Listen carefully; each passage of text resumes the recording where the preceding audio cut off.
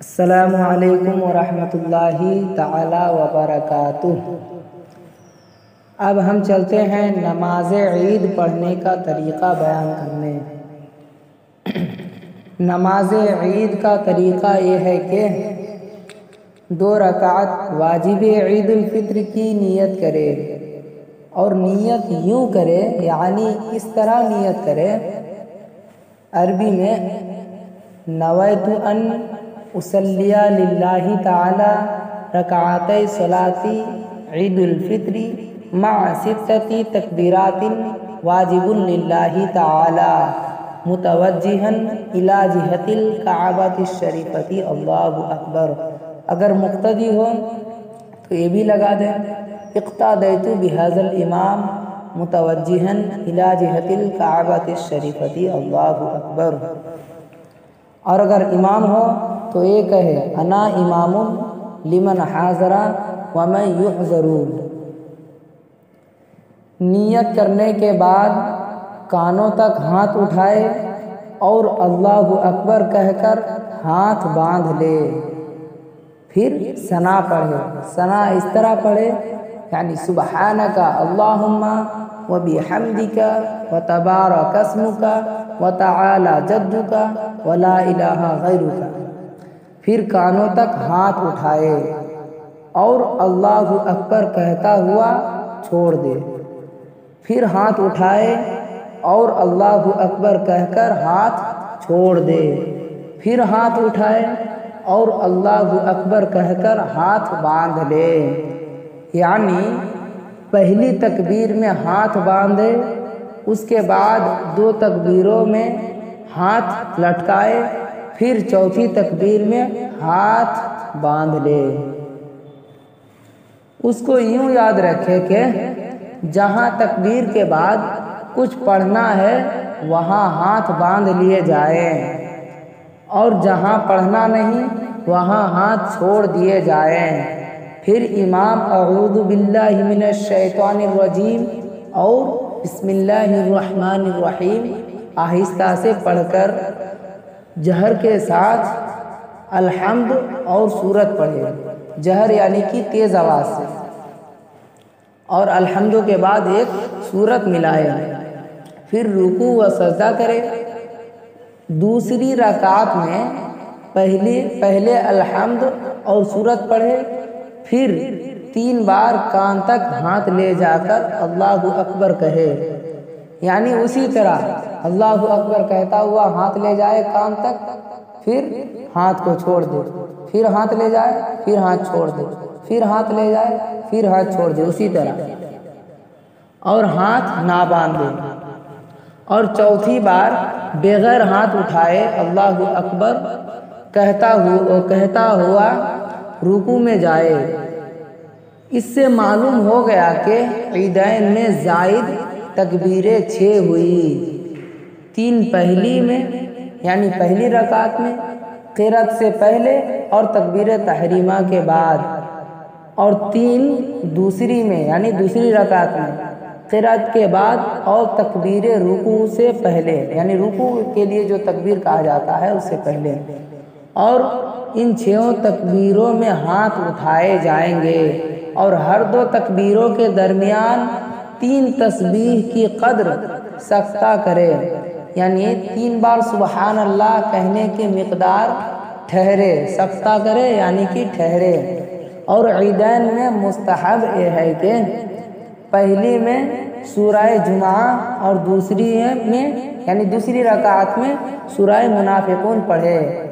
या पहली में सब हिस्मा रबिकल आला और दूसरी में हल अताका पढ़े। पहले ईदैन के मुतालिक चंद अहदीसें सुने। हदीस नंबर एक, इब्ने माजा अबू अमामा रज़ी अल्लाह से रावी के रसूल करीम सल्लल्लाहु ताला अलैहि वसल्लम ने इरशाद फरमाया, जो ईदैन की रातों में क़याम करे, उसका दिल ना मरेगा। जिस दिन लोगों के दिल मर जाएँगे। हदीस नंबर दो, असबहानी माज बिन जबल रज़ी अल्लाह से रावी है कि वो कहते हैं कि जो पाँच रातों में शब बेदारी करे, उसके लिए जन्नत वाजिब है। वो कौन सी रातें हैं? सुने। जिलहिज्जा की आठवीं रात, नौवीं रात और दसवीं रात, और ईद फित्र की रात, और शाबान की पंद्रहवीं रात, यानी शब बरात।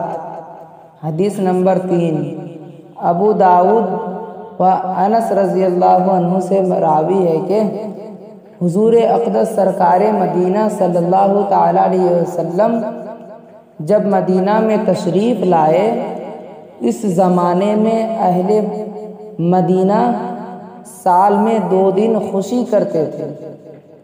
फरमाया, यह क्या दिन है? लोगों ने अर्ज़ की, जाहिलियत में हम इन दिनों में खुशी करते थे। फरमाया, यानी हुजूर पाक ने फरमाया, अल्लाह ताला ने उनके बदले में उनसे बेहतर दो दिन तुम्हें दिए। पहला दिन ईदुलजुहा और दूसरा दिन फित्र। हदीस नंबर चार और पाँच। तिरमीज़ी व इब्ने माजा व दारमी बुरैदा रज़ी अल्लाह से रावी है कि हुजूर अक़दस सरकार मदीना सल्लल्लाहु अलैहि वसल्लम के दिन कुछ खाकर नमाज़ के लिए तशरीफ़ ले जाते और ईदुलजुहा को ना खाते, जब तक नमाज़ ना पढ़ लेते। और बुखारी की रिवायत में है कि अनस रज़ी अल्लाह से है ये मर्ज़ी कि ईद फित्र के दिन तशरीफ़ ना ले जाते, जब तक चंद खेजूरे ना तनाउल फरमा लेते और ताक होते, यानी खेजूर जो होता, वो तीन होता या पाँच होता या सात होता। हदीस नंबर छ, तिरमीज़ी व दारमी ने अबू हुरैरा रज़ी अल्लाह से रिवायत की के ईद को एक रास्ते से तशरीफ़ ले जाते और दूसरे से वापस होते। हदीस नंबर सात, अबुल दाऊद व इब्ने माजा की रिवायत उन्हीं से है कि, यानी उन्हीं से मरवी जो इससे पहले हदीस में हम बोले हैं कि एक मर्तबा ईद के दिन बारिश हुई तो मस्जिद में हुजूर सल्लल्लाहु अलैहि वसल्लम ने ईद की नमाज़ पढ़ी। हदीस नंबर आठ, सहीहीन में इब्न अब्बास रज़ी अल्लाह अन्हुमा से मरवी के रसूल करीम सल्लल्लाहु अलैहि वसल्लम ने ईद की नमाज़ दो रकात पढ़ी। ना उसके कबल नमाज़ पढ़ी, ना उसके बाद। यानी नमाज़ ईद पढ़ने से पहले कोई नफिल नमाज़ पढ़े हुजूर? ना ही बाद में पढ़े। हदीस नंबर नौ। सही मुस्लिम शरीफ में है। जाबिर बिन समरा रज़ी अल्लाह अनहु कहते हैं कि, मैंने हुजूर पाक सल्लल्लाहु अलैहि वसल्लम के साथ ईद की नमाज़ पढ़ी। एक दो मर्तबा नहीं, बल्कि बारहा।